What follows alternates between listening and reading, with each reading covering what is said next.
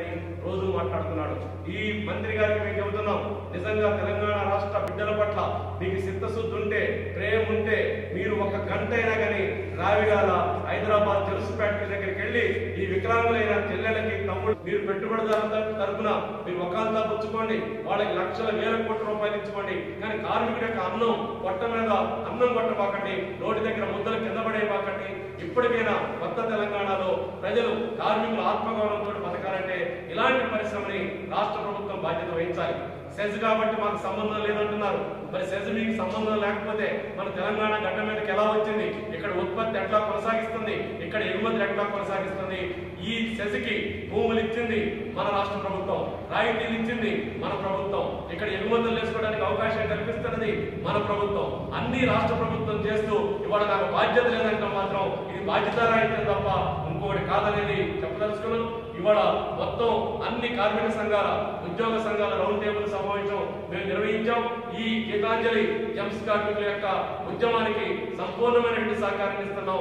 రాష్ట్రంలో ప్రజలు రాజకీయ పార్టీలు మీరందరూ కూడా ఈ చిన్న కార్మికులు చిరు పేదలైనటువంటి కార్మికులు వికలాంగులైనటువంటి కార్మికుల పట్ల దయతో వాళ్ళ పట్ల మానవత్వంతో ఈ కార్మికుల పోరాటానికి మద్దతు పలకాలని ఎప్పటికైనా రాష్ట్ర ఏ మాత్రం జాప్యం చేయకుండా దీని మీద తక్షణం వాళ్ళకి ఉద్యోగ భద్రత కలిగించే పద్ధతిలో చర్యలు తీసుకోవాలని కోరుతున్నాం. అంతేకాదు ఈ రోజు విశాఖపట్నంలో ఉన్నటువంటి సెన్స్ డెవలప్మెంట్ కమిషనర్ ఏవైతే ఉన్నారో మీరు అక్కడ కూర్చొని కార్మికుల సంక్షేమం కాదు మీరు హైదరాబాద్ వచ్చి ఈ పరిశ్రమల కార్మికులు ఓదార్చాలి ఈ కార్మికుల యొక్క భవిష్యత్తుకి మార్గం చూపెట్టాలి ఆ రకంగా కేంద్ర రాష్ట్ర ప్రభుత్వాలు మీరు ఇప్పటికైనా నిమ్మకి నీరెత్తినట్టు మీ పద్ధతులు వదులుకు కార్మికుల సంక్షేమం కోసం చర్యలు తీసుకోవాలి. ఇవాళ ఎన్ఫోర్స్మెంట్ డైరెక్టరేట్ ఇన్కమ్ ట్యాక్స్ మొత్తం గీతాంజలి ఆ జంప్ పార్క్లో ఉన్నటువంటి నూట డెబ్బై ఒక్క ఎకరాల్ని మేము స్వాధీనం చేసుకున్నామని ఐదు బిల్డింగులను కూడా మేము అటాచ్మెంట్ చేశామని ఈ రోజు ఒక సర్క్యులర్ కూడా మొత్తం విడుదల చేశారు. మేము ఈ రోజు CIP డిమాండ్ చేస్తున్నాం.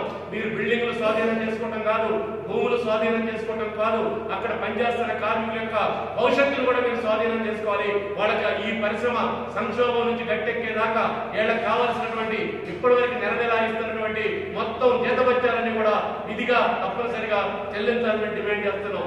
ఒకవేళ ప్రభుత్వం కనుక పెడిచమని పెడితే ఈ వికలాంగుల పోరాటం ఈ గీతాంజలి జంస్ కార్మికుల పోరాటం రాష్ట్రంలో ఒక పెద్ద ఉద్యమంగా ఇది తయారైందని ఈ ఉద్యమానికి రాష్ట్ర ప్రభుత్వం ఖచ్చితంగా సంజాయిషి ఇచ్చుకునే పరిస్థితులు ఉత్పన్నమవుతుందని రాష్ట్ర కేంద్ర ప్రభుత్వాన్ని తీవ్రంగా హెచ్చరిస్తున్నాం.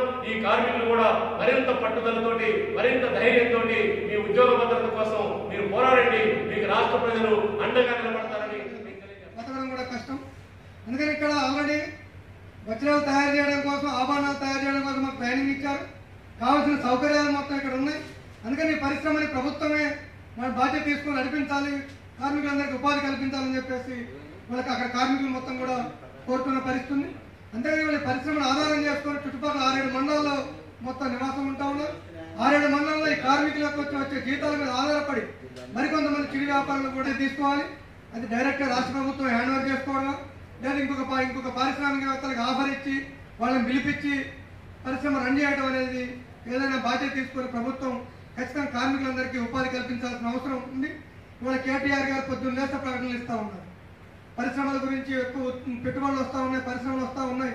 ఉపాధి కల్పిస్తున్నామని చెప్పేసి ఎక్కడ ఐటీ సెక్టార్లో కూర్చొని ప్రకటనలు టీవీలలో ఇస్తా ఉన్నారు. ఇవాళ సిఐటీవీగా రౌండ్ టేబుల్ సమావేశం తరఫున కేటీఆర్ గారికి విజ్ఞప్తి చేసేది అయ్యే మీరు ప్రకటనలుగా పరిమితం కావడం కాదు. ఇవాళ పరిశ్రమలు మూతపడతా ఉన్నాయి. ఆరు వందల మంది మహిళలు వికలాంగ రోడ్డు మీద పడతా ఉన్నారు. వీళ్ళందరినీ ఆదుకోవడం కోసం ఖచ్చితంగా చర్యలు తీసుకోవాలని చెప్పేసి ప్రభుత్వానికి పరిశ్రమ శాఖ మంత్రి కేటీఆర్ గారికి విజ్ఞప్తి చేస్తా ఉన్నాం. అంతేకాని రౌండ్ టేబుల్ సమావేశం ప్రతిపాదన మరి అక్కడ వచ్చిన కార్మికుడికి యజమానికి వచ్చినటువంటి ఆ పారిశ్రామిక సంబంధాలను ఎవరు చూడాలి?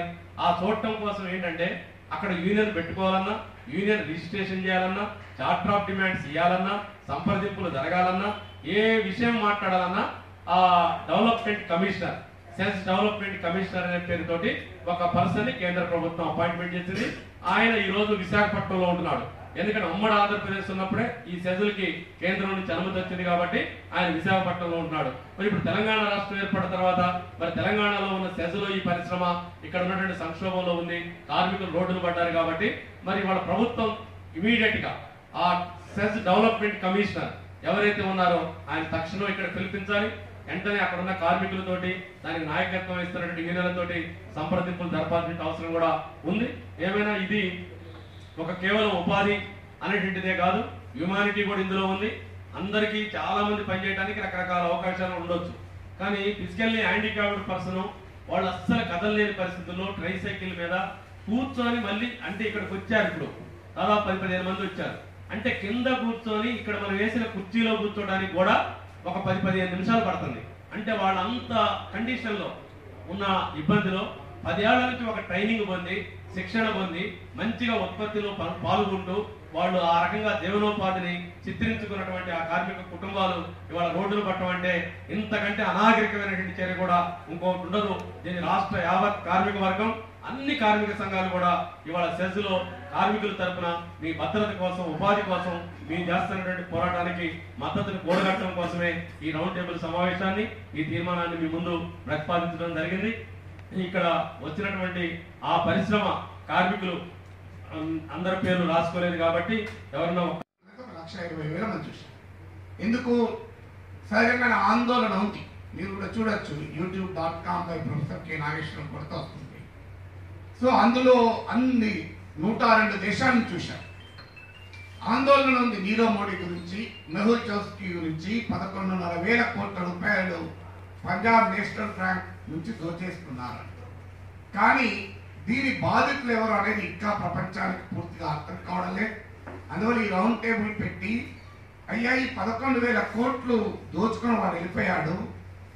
ప్ర- ప్రధానమంత్రి అసలు నోరు కూడా విప్పడం లేదు. ఆర్థిక మంత్రి నోరు విప్పడం లేదు.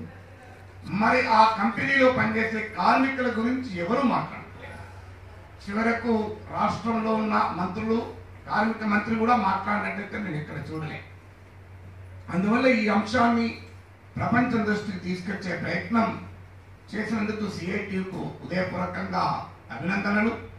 సో ఈ అంశాన్ని మరింతగా జనంలోకి తీసుకెళ్ళాలి. ఇంతకుముందు మాట్లాడిన మిత్రుడు చెప్పాడు అయ్యా మేము ఈ కంపెనీలో పనిచేయాలనుకుంటే ఒక వికలాంగుడిగా డిఆర్డిఏలో సంగతి చేయించండి వాళ్ళ నుంచి ఎన్ని డబ్బులు పట్టుకొస్తారో పట్టుకరండి.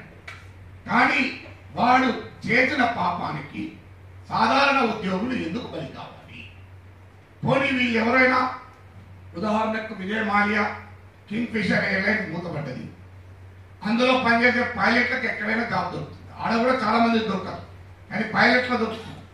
కానీ ఒక పది ఏళ్ళుగా పన్నెండేళ్ళుగా జమ్స్ ఇండస్ట్రీలోనే పనిచేస్తూ ఆ ఒక్కటి తప్ప వేరేది అనుభవం లేని నైపుణ్యం లేని ఇప్పుడు నేర్చుకునే సత్వాలేని కార్మికుల పరిస్థితి. ఇవాళ ప్రభుత్వాలు వేల పార్ట్నర్షిప్ సమ్మిట్ అని భాగస్వామ్య సదస్సులు వరల్డ్ ఎకనామిక్ ఫోరంలు మన మంత్రులు కూడా వెళ్ళి మంత్రులు కూడా వెళ్ళి వరల్డ్ ఎకనామిక్ ఫోరంలో మాట్లాడారు. ఇక్కడ కూడా పెద్ద పెద్ద మీటింగ్లు జరుగుతున్నాయి ప్రపంచ స్థాయి మీటింగ్లు. ఇవాంకా ట్రంప్ కూడా వచ్చారు ఎందుకు ఇవన్నీ ఎందుకు చేస్తున్నారు అంటే పెద్ద ఎత్తున మన దేశంలోకి పెట్టుబడులు మన రాష్ట్రంలోకి వస్తున్నాయన్న ఇండస్ట్రియల్ ఐపాస్ చట్టం అనే చట్టం తెచ్చి పారిశ్రామికవేత్తలకు సులువుగా అనుమతులు ఇస్తామని చెప్తున్నారు. మేము కూడా ఏమంటున్నామంటే అయ్యా ఇక్కడ ఒక ఆరు వందల మంది ఏడు వందల కుటుంబాలు పనిచేస్తున్నాయి. వీళ్ళు తయారు చేసే జెమ్స్ ప్రపంచవ్యాప్తంగా డిమాండ్ ఉంది.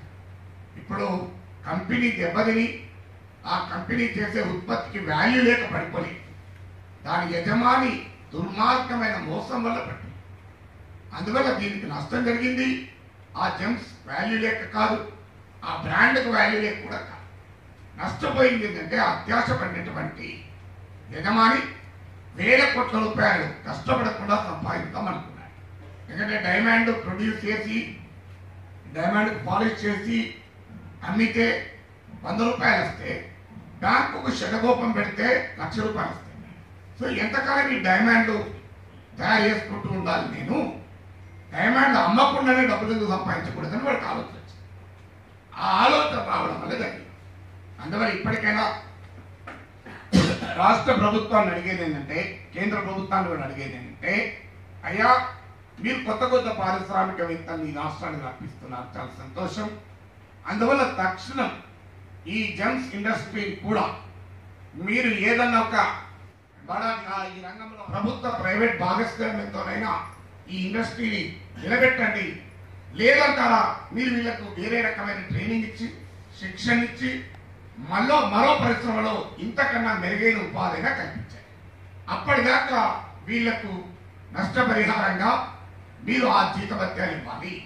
ఈ ఈ ఎందుకంటే మీకు ఓకే మరి మా కుటుంబాలు ఎట్లా బతకాలి? రోడ్డు మీదకి వచ్చి ఎలా బతుకుతాం?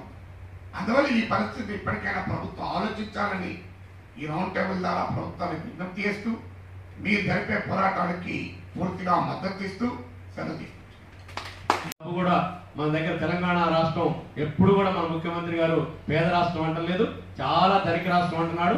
ఆ ధనిక రాష్ట్రంలో మనకి ఏదో ఒక పద్ధతుల్లో మన వేతనాలు ఇవ్వడానికి ప్రభుత్వం బాధ్యత వహించాల్సిన అవసరం ఉంది. ఆ రకమైన ప్రతిపాదనలు ఉన్నాయి. దీని మీద మన రౌండ్ టేబుల్కి హాజరైన నాగేశ్వర గారికి ఉద్యోగ ఉద్యోగాన్ని కల్పించినటువంటి పరిస్థితి కూడా ఆ ప్రభుత్వం చేయలేదు. ఆ యాజమాన్యం చేయలేదు. అయినా ఆ యాజమాన్యం మీద ఎటువంటి చర్యలు తీసుకున్నటువంటి పరిస్థితుల్లో ఈ రాష్ట్ర ప్రభుత్వం ఉంది. అంటే ఈ సెజ్జులలో ఉండేటువంటి పరిశ్రమలకి పరిశ్రమల్లో ఉన్నటువంటి కార్మికులకి కనీస భద్రత కూడా ఆ, ఉద్యోగ భద్రత లేదు సామాజిక భద్రత లేదు. ఎప్పుడు ఈ కంపెనీలు మూతపడతాయి అనేటువంటి కూడా సమస్య ఉన్నటువంటి